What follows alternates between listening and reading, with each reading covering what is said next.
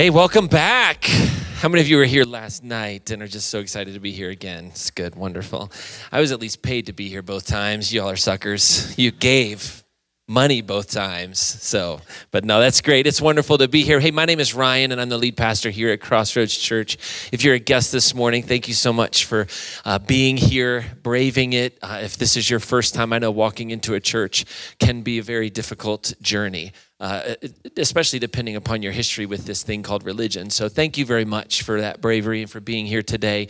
Uh, we want to do our best to make you feel welcomed and to know that you were invited by the divine to be here today and to experience unconditional love, radical inclusion, and the real heartbeat of what Jesus was all about. So, that's why we are here. We're glad you're here. Uh, if you are new to Crossroads or if we've never been able to get together inside your program, there's a little note from me welcomes you. Um, and my cell phone's in there. And I'd love to get together and have coffee with you, uh, an old fashioned. Actually, I can't have old fashions right now.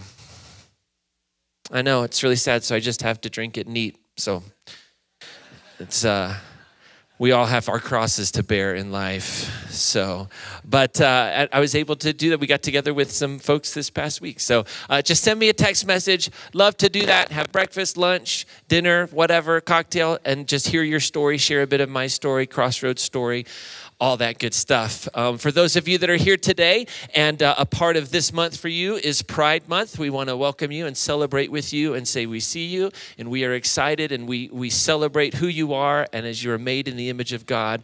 And this is a place where you are fully welcomed, fully loved, fully invited to bring all of yourself uh, to here in leadership and to live out your truth. And so we're excited for that. And so happy Pride Month to you all as well.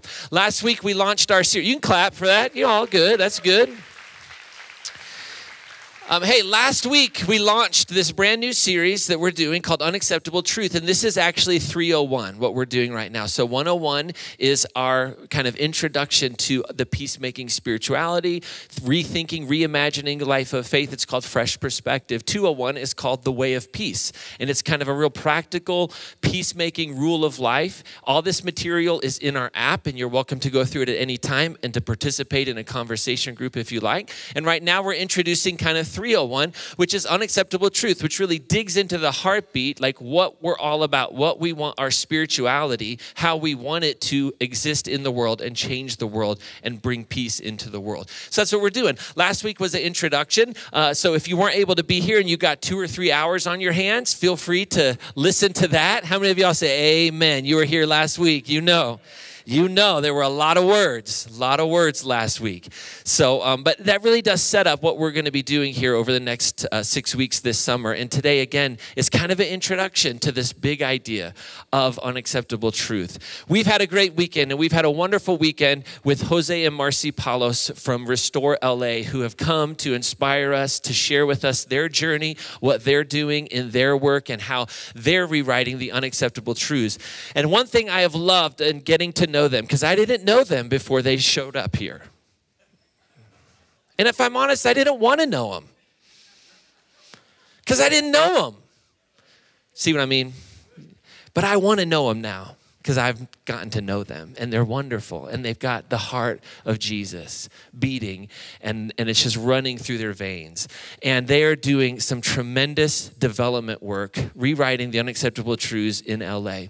And you'll hear more about that here in just a moment. But listen, they a few years ago they started this beautiful organization in partnership with their church called Restore LA that is looking to reach into the darkest corners, the spaces of the marginalized, the places where the hungry exist and for those that are, are needing economic development. And what I love about the work of Restore LA, I love it, I love it, I love it, is that they're into the development business. And here's the thing in our world, we often want to celebrate relief work because in relief work, you get to stand up and say, 20,000 people got fed today, but then they went home hungry and they had no idea how they were going to eat the next day. But we love those big numbers. But development work is difficult, it's hard work, it's expensive, it's exhausting. And so they are doing that work of economic development, transforming generations, generations. And that work is hard and it is slow, and sometimes you want to give up, but they are pressing in, doing amazing things there uh, with, and you'll hear more about it. It's wonderful. So make sure you check out their website, check it out. When you give to Partners in Hope, that's what you're doing. You're giving to our partners like Restore LA. So thank you very much for doing that. So do me a favor, give a great big round of applause. And he sat in the far back so you could applaud very long because he's got to walk all the way up here. He knew what he was doing. That was no accident. This is a smart dude. Like, he knew it. He's like, I'm going to sit back here so you really have to applaud for the whole journey. He might even weave in and out, you know. So keep it coming. Keep it coming. Uh, by the way, while you're applauding, inside your program are the lyrics for the spoken word that Jose is going to perform here in just a moment. If you find, keep it coming, keep it coming.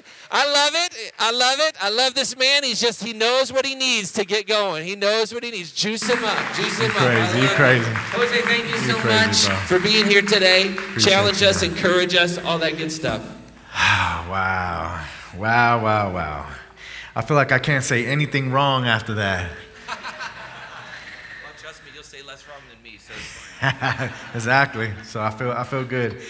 Man, oh man, it has been a wonderful time here in Colorado. Um, I- we feel, my wife and I feel like Colorado, like uh, you guys are like cousins of California. It's just cool. I don't know what it is. Can't, you know, definitely not the altitude. There's definitely, we don't relate to that over there at sea level. I'll tell you what, I've been disoriented. I feel like normal today. It took me like two, three days to acclimate. Been disoriented.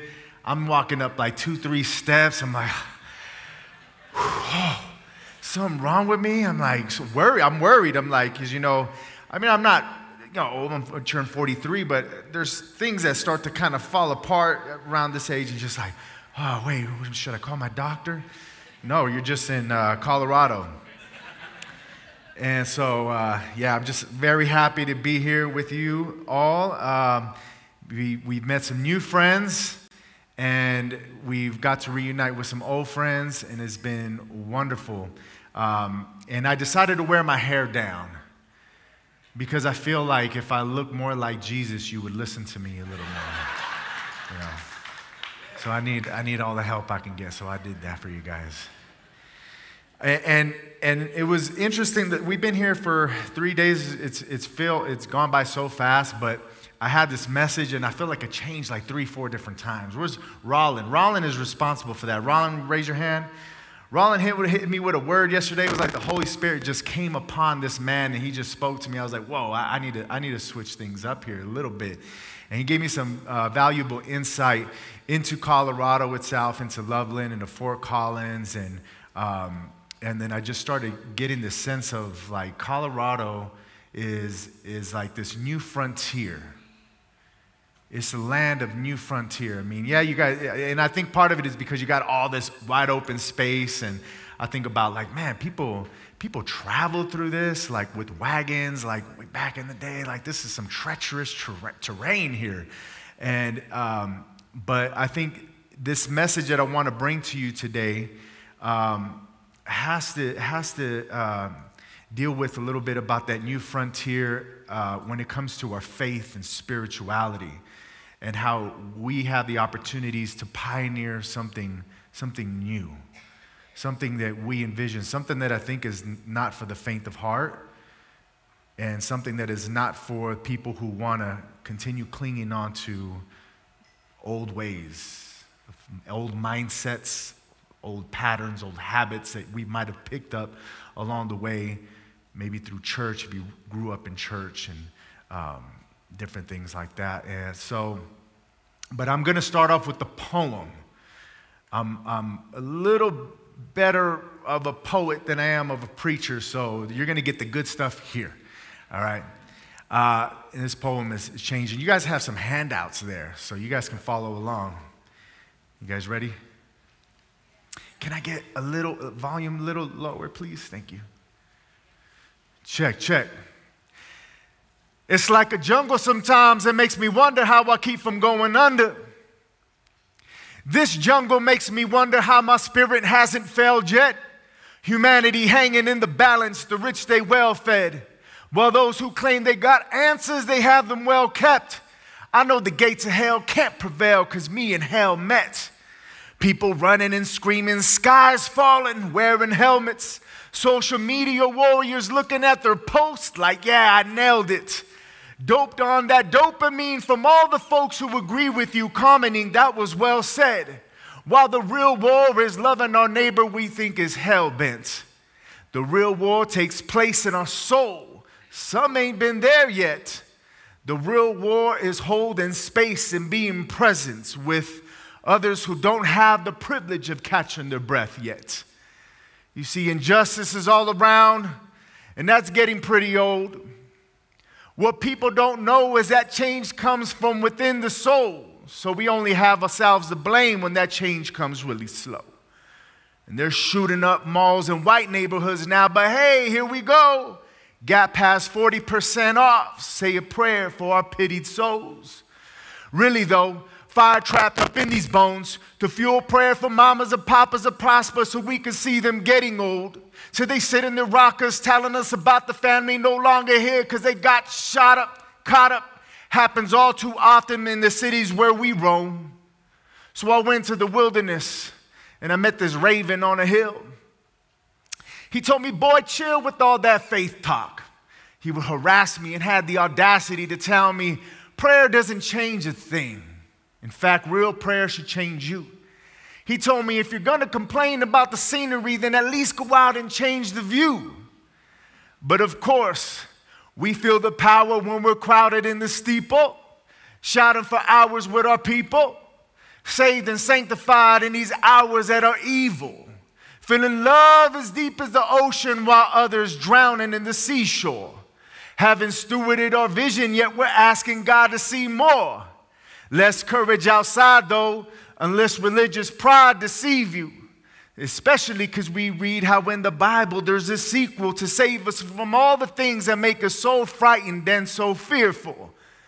Last time I checked, divinity had no part in exclusivity because love is a power for the people.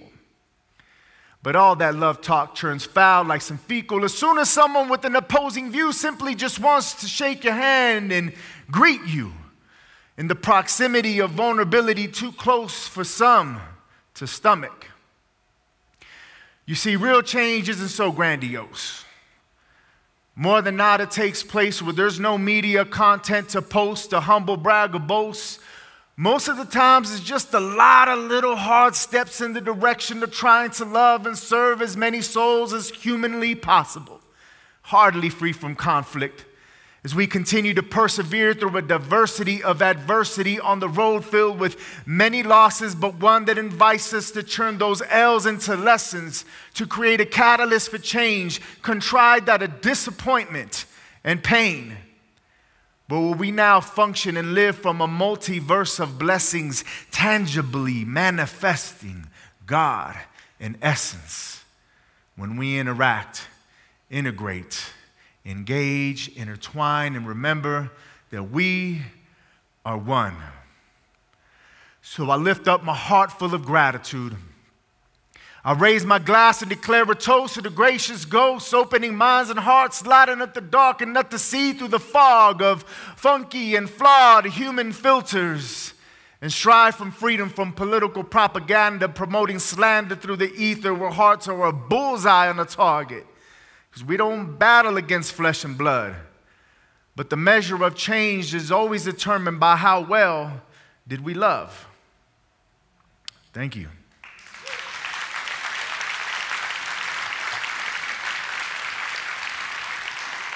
Let me just set this over here. Knock that down. All right, that was a lot. So you got little uh, handouts there. You guys can go and um, read that later and catch up with all the words that just were spewed at you. Um, so, yeah, a little bit about me. Uh, my name is Jose Paulos, 43 years old, been married for 13 years to my wonderful wife, Marcela Paulos, sitting, sitting in the back over there. She's my, she's my backbone, she's my ride or die. Couldn't have done this trip without her. Um, we have two beautiful kids, uh, eight and 11 year old Enoch and Penny. And we have uh, three pets. We've got a fancy leopard gecko, an English bulldog, and a, and a cat named Lima. She, uh, you guys laugh at the cat, right? Because you know the cat, they run stuff. They're like, they're strange animals. They're like, they're like aliens in like furry bodies. They're, they're interesting. And, you know, my wife has been in ministry for nearly two decades. She's a second generation uh, minister, PK, and all that. I didn't grow up in the church, I grew up quite opposite. My life was so polarized. Uh, you know, my parents divorced when I was a, a baby, um, and they married my, my, their, their first, um, first mar- no, their second marriages. They married the most complete opposite people to, to the other right? So my stepmom was a DEA agent, and my stepdad, he was a drug dealer. In fact, my dad, my stepdad served, uh, you know, five years in, in state penitentiary in uh, Chino, California, and it was actually one of her colleagues that set up the sting operation. So talk about dysfunction, right? Uh, and then I, then, then I, then I got saved and I stepped into church and talk about a whole nother set of dysfunction, right? Some of you guys are not laughing. Come on, dude. This, y'all know it's, it's, it's rough. It's rough. You've been any, in any amount of time in church, you go through some stuff. It's, it's some weird stuff. I tell my wife all the time, I said, man, you know what? I lived a pretty hard life, but I wouldn't change it for the life that you lived as a PK. Because it's different. It is different. It's a different world. And that's what I came to talk to you about this morning. Um, I came to talk to you about, yes, the fact that I feel like Colorado is a new frontier for so many opportunities, a new representation of God, uh, a new representation of the kingdom, a new representation of what a community of faith sh- should look like, should act like, should live like together. I really believe that. I really b- believe for those of you who want to uh, receive it, I think it's a prophetic declaration that I'm making today that Colorado and this, this whole region of the United States is a new frontier. And I feel like God is looking for pioneers to step in and answer the calling of what He wants to do here on earth. So, the passage I'm going to read from today is Jeremiah 29 4 through 7. And uh, this is from the message translation.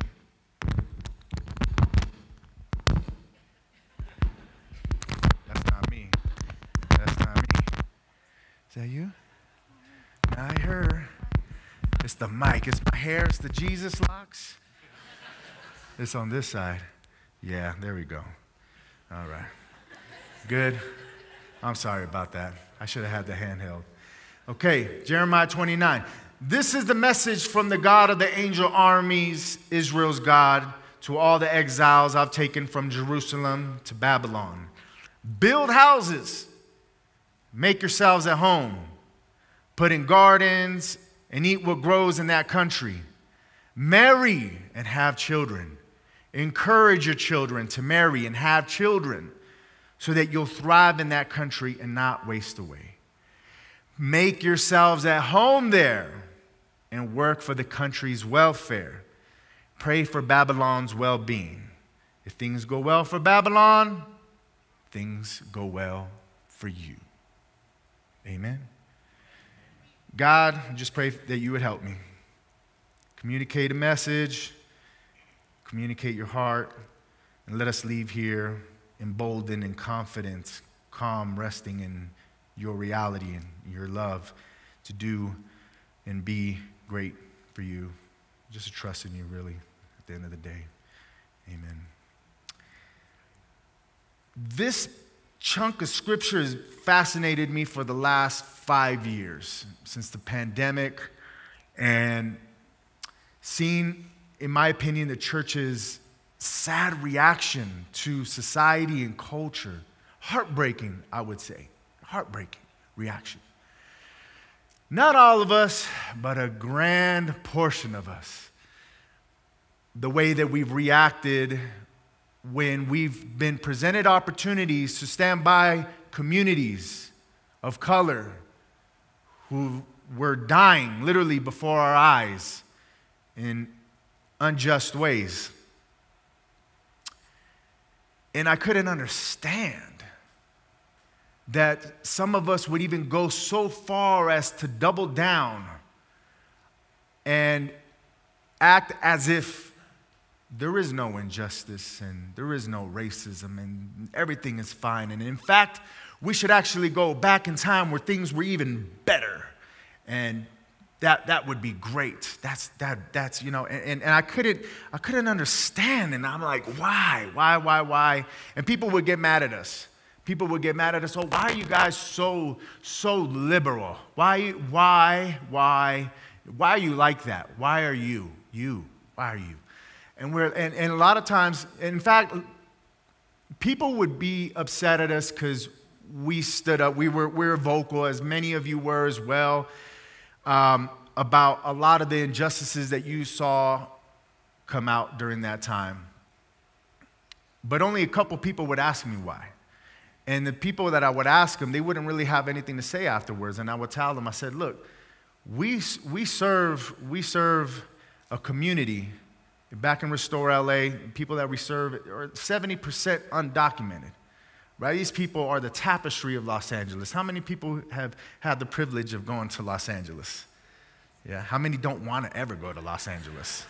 Right? Yeah, I feel you, bro. I, understand. That's why I'm here getting some reprieve, you know what I mean? Some rest, because it's crazy over there. Got to go back.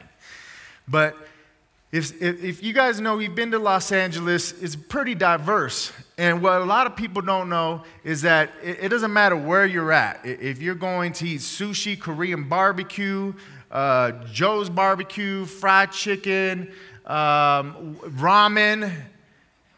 It doesn't matter. You're going to see some Latino brother in the back chopping it up, cooking it up, throwing the sashimi on your plate, and it's going to be the most delicious thing ever. The same thing with, you know, building homes. They build homes. They, they are the tapestry of our society. They're taking care of your kids. They're making your clothes. And so we live in a whole different reality than most people are used to. And at the, at, at the end, I came to an understanding like, you really can't fault them. But that was our reality.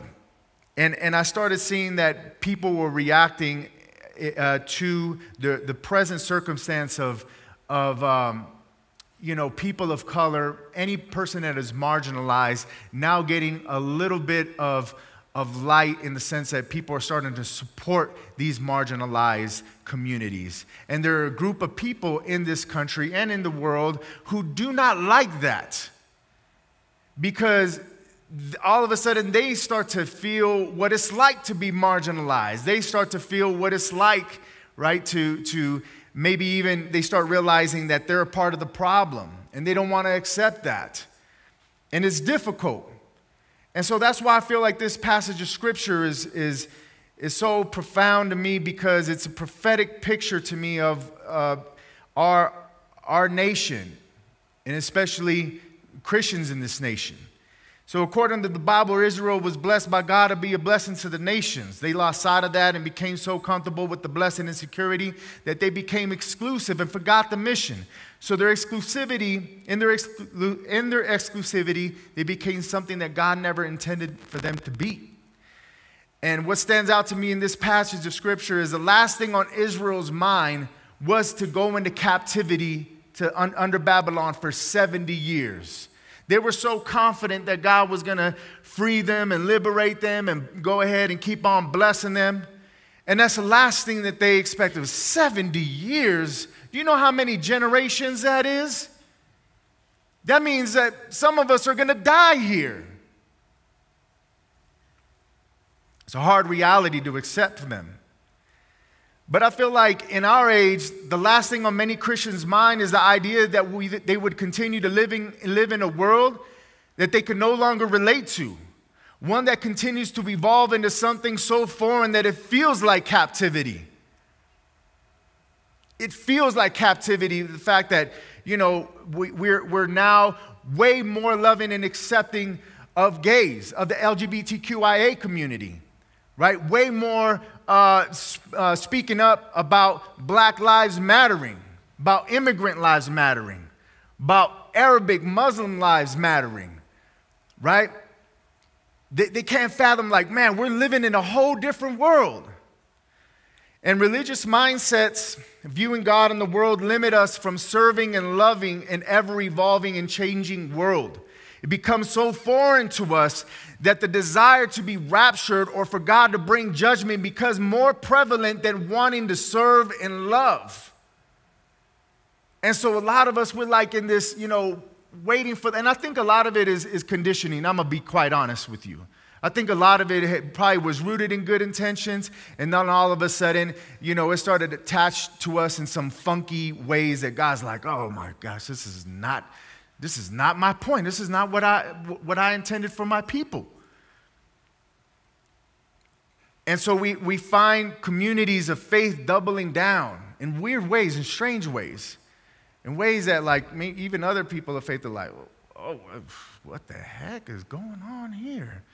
You know, whatever happened to the kumbaya? Whatever happened to the love? Whatever happened to, you know, this is getting kind of weird.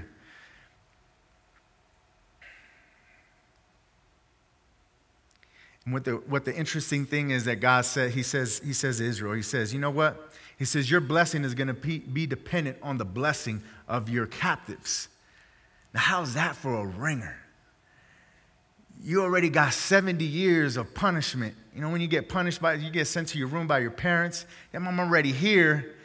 And, and, and, then, and then it's like if they're asking you to, like, if, if you got in a fight with your brother and sister and they were at fault, right? Now you got to make them happy. And, and you getting out of this room is going to be dependent on them being happy. Like, that's crazy. It's just crazy. But I do think that this was something more practical than spiritual. I think that whenever we decide to hold back blessings, whenever we decide to hold back love, whenever we decide to hold back forgiveness, joy from others, we are harboring the opposites. We are most likely not loving ourselves. We are most likely not compassionate to ourselves. We are most likely holding on to some bitterness, some forgiveness, some grudges. And it becomes, it becomes very difficult at that stage to experience God's blessing, which in this passage, it's, it's one of the times that um, the Bible introduces this idea of shalom, completeness, of wholeness, psychologically, emotionally, physically, uh, societal, cultural, wholeness, where everything, everyone has enough.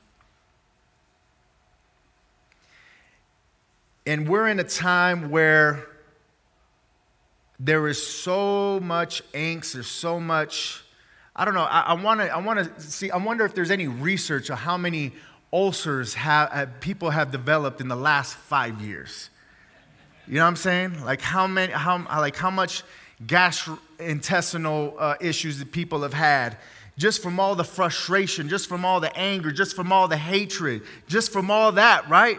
And that's why I'm saying I think that this is more than just like spiritual. Like I know that there's some spiritual components to this, but this is quite practical. It's physical. When we put our, when we put ourselves against the people that God has called us to love, we are harming ourselves. And I think a deeper truth that some are not willing to accept is that the, re- the reason that is is because we are more connected than we give ourselves credit than we're more than we're conscious of. Right? God said, I am in you, I am in my Father, you are in me. Right? You and me, I and you, and we're one. You know, God, God is so diverse that it takes every human being on the face of the earth that has ever existed to begin to reflect the image of God. Right? Amen. I mean, whatever. And, and, but it draws us back to the point that we are one. And so, in order for us, even the people that are like doubling down on, you know, whatever it is, if it's religious freedom or whatever righteous, holy expectation standard that, that, that they have, it is, it's still important. It's still important to exercise, to love as you want to be loved. It's still important. That, that's the only way to progress in society. That's, the, that's it. That's the only way. In LA, uh, you know, now that we work in community development, we work with all sorts of different types of people. And I love it. I, I absolutely love it. I love, I love like when like people non-faith, like when they check you. I love that. It's refreshing. It's so refreshing because it's so real. It's so real and it aligns you and it corrects you, gets you right back into like, oh snap, okay, like let me let me come correct. And it's always a reminder, especially because like for me, like in church, all the time that I spent in, in church, church was my work, play, my community, it was everything. I didn't have a lot of friends that were outside of church. And when I started, when I, after the pandemic, my wife and I started this community development corporation where we were focusing on affordable housing, focusing on small business. So, in, in a sense, God was kind of saying, all right, like, this is what you guys got to do. You guys got to, you know, build homes, plant vineyards, give you, you know, celebrate culture, integrate yourself into society. And we find ourselves surrounded surrounded by so many opportunities to love, to see people grow, people that will never be in our pews, people that would never come to our church. Well, we love them unconditionally. And it's been one of the most fulfilling times of my whole life. And the fact that I get to do it with my wife is even better.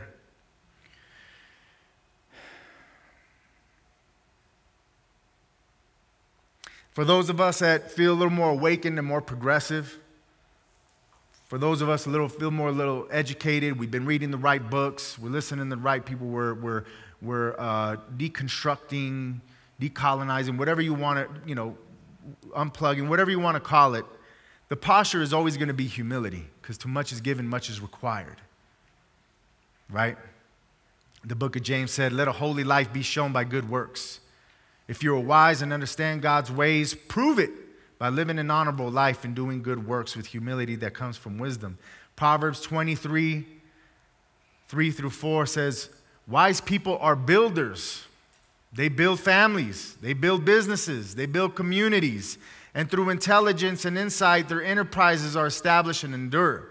Because of their skilled leadership, the hearts of people are filled with the treasures of wisdom and the pleasures of spiritual wealth. And it's all about love. It really is. But as you see in a, in a clip, uh, you know, in, in, a couple moments, uh, it's, it's, real love isn't really popular. Real love isn't really popular, man. Like, it's very easy, like Jesus said, like, what, what do you gain if you love, like, the people that love you? You know? What does it look like to people, to love people that hate you? You know? What does it look like to hold space and, and, and, uh, and create a space of peace and love and belonging to people that like they look at you and they're just like every trigger is triggered and they're ready to just blow your head off like like you know what does it look like what does it look like what does love look like in that case Rumi says love is the bridge between you and everything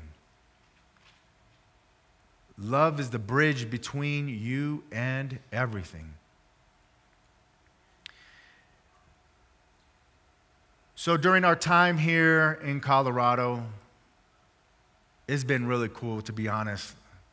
Um, you guys have some amazing leaders in this community of faith with uh, Ryan and Wendy. They, they're pioneers. In this new frontier, they are pioneers. Because in a lot of ways, they've already paid, they already paid the price. And that's what you got to do in this, in this new age. You got, you, gotta, you got to get lost. You got to go out into the world and get lost. To be salt and light, you got to go out there. You just do. And you guys are in good hands, but you're presented with an opportunity. You're presented with an opportunity to believe generationally, to look into the future, and to dare to believe that, you know what? My nation's best days are not behind them. It's not behind us. Amen? Man, Because how many of us are proud to be in this country, proud to, born, uh, proud to be born here, right, and have a legacy attached to it? You know, some of you, many, many generations. I'm a first gen. My parents come from, from Mexico. But I love, I'm a Mexican American. I love being from this country. I'm so proud. I'm so thankful to be part of this country. But it is really sad to think that, man, the, the be- really the best is behind us. You, you know, it wasn't that long ago that women could have vote, right? Right? You know, it was only a couple hundred years ago where, uh, where, where black people weren't even considered uh, fully human, right? you know what I'm saying? Like, where we're at now compared to where we were, I think there's a lot of great things in our favor. There's a lot of jacked up stuff. Yes, there's a lot of horrible stuff. It's very messy, very messy out there. But I believe that God is calling us. God is calling us to dare to believe, to envision what this region could look like. You know, with you know, all due respect, you know, white people, you got y'all going to be the minorities eventually, right? Because because I, I know, because I, I, know the same thing with, with Latinos. Latinos, they, they like, they like, you know, they like white girls. They like, you know, white boys. And, you know, they like the blonde hair and the blue eyes. You know, opposites attract.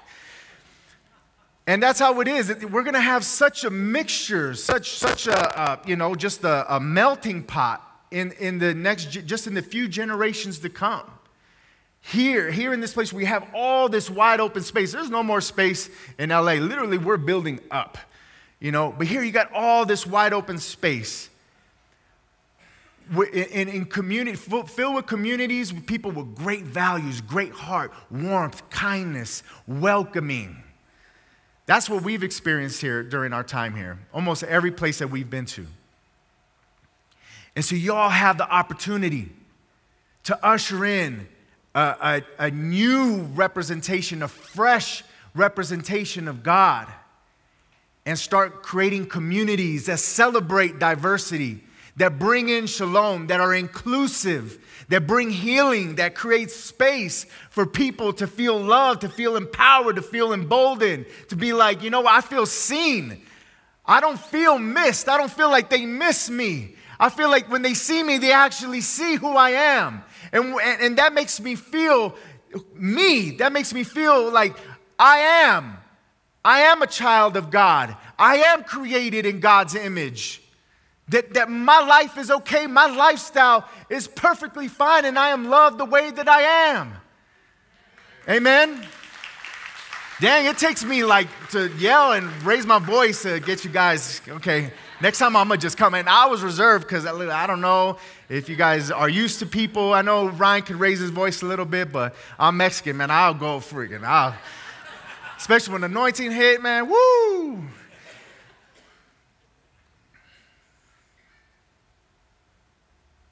But it takes courage.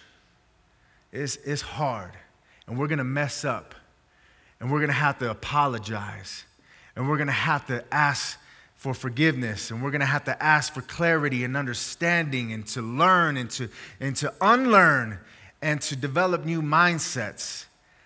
But if we're willing if we just are just a little bit willing i think god takes that. He runs with it. He re- i think god runs with it I'm, I'm stalling because i feel like there was one more thing i wanted to share here but i think, I, I think i'm done um, i just want to say thank you Thank you for being so warm and welcoming. Um, I know a lot of you have been here for a long time, but don't take, don't take this place for granted.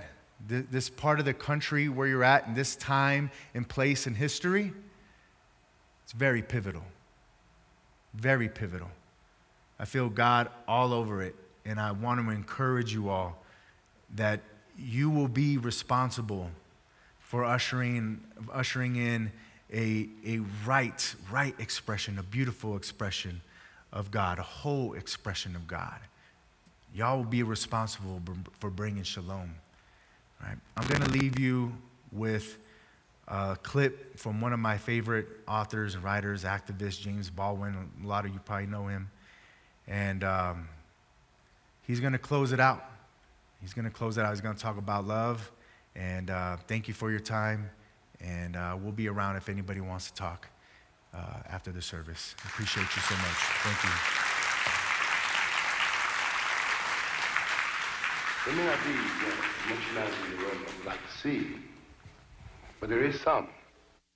There's more than one would think. In any case, if you if you break faith with what you know, that's a betrayal of many, many, many, many people. I may know six people, but that's enough. Love has never been a popular movement, and no one's ever wanted really to be free. The world is held together, really it is held together, by the love and the passion of very few people. Otherwise, of course, you can despair. Walk down the street of any city, any afternoon, and look around you. What you got to remember is what you're looking at is also you. Everyone you're looking at is also you. You could be that person. You could be that monster. You could be that cop. And you have to decide in yourself not to be.